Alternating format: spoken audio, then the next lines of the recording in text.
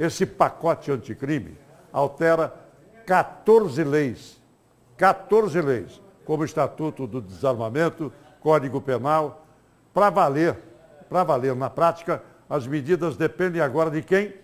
Dos nossos deputados federais e senadores. Aqui em Mato Grosso, especialistas em segurança pública analisam propostas defendidas por Bolsonaro. Antônio Carlos Silva, nosso talentoso Antônio Carlos, tem novidades sobre isso. Vamos lá, Antônio. Nesta quarta-feira, o ministro da Justiça vai à Câmara Federal explicar detalhes do projeto anticrime. Sérgio Moro vai esperar o presidente da República, Jair Bolsonaro, ter alta médica para definir quando a proposta será encaminhada para votação no Congresso Nacional. Um deputado integrante da bancada da bala diz que se o projeto for encaminhado até junho, tem 99% de chances de ser aprovado.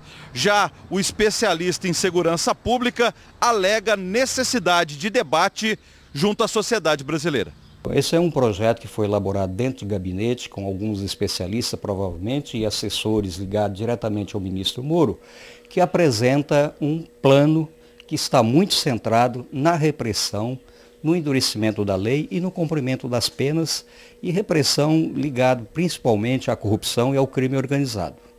Eu diria que repressão ela é importante, ela tem que ser qualificada, ela tem que estar pautada em estudos, em gestão de informação, ela tem que estar pautada exatamente na inteligência policial para se combater esse tipo de crime tão comum no nosso país e na nossa sociedade.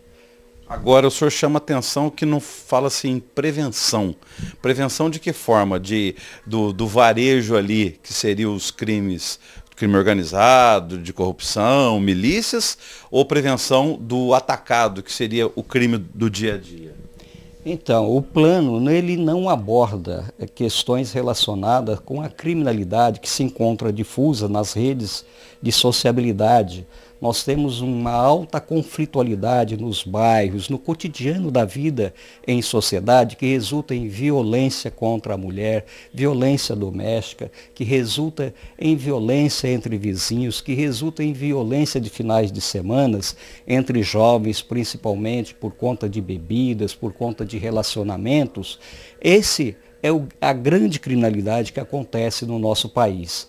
O crime organizado realmente preocupa a sociedade, assim como a corrupção também preocupa a sociedade, mas eu diria que esse aí é o varejo, porque o atacado mesmo é essa criminalidade difusa nas redes de sociabilidade. E não há nenhum, nenhuma menção sobre como prevenir essa criminalidade que acontece diariamente nos bairros, na periferia da nossa sociedade, envolvendo populações que estão quase sempre desassistidas pelo poder público e passando situações é, de realmente é, que acabam se envolvendo com criminalidade, né? situações de é, falta de apoio do poder público e da própria família. Uh, por outro lado, acho que é importante também ressaltar que esse plano ele não foi articulado com a participação da sociedade civil, com a participação dos profissionais da área da segurança pública, com os conselhos de segurança. Isso é um plano de gabinete que nós não sabemos aonde ele vai dar. A ideia de se fazerem os três pilares ali, né? É, é muito boa a, ideia do, eh, do ministro. É, crime organizado, crimes violentos e corrupção, né? Então, o foi muito bem feito, a meu ver. Não sendo retirados direitos e garantias fundamentais dos acusados, perfeito. Não é? É, organizações criminosas, da mesma forma. Não tive acesso ainda a todas as modificações encaminhadas, porque eu entendo que uma das grandes modificações que deveriam acontecer é no processo, especialmente nos crimes de improbidade administrativa, onde se dá o direito da defesa preliminar, que não existe em nenhum dos outros processos, acaba retardando né, aquele excesso esperado nos processos de improbidade administrativa e também o que é mais grave, depois de recebida a contestação, um direito a um agravo. Este sim, fulmina praticamente a possibilidade dos processos serem julgados antes de cinco anos.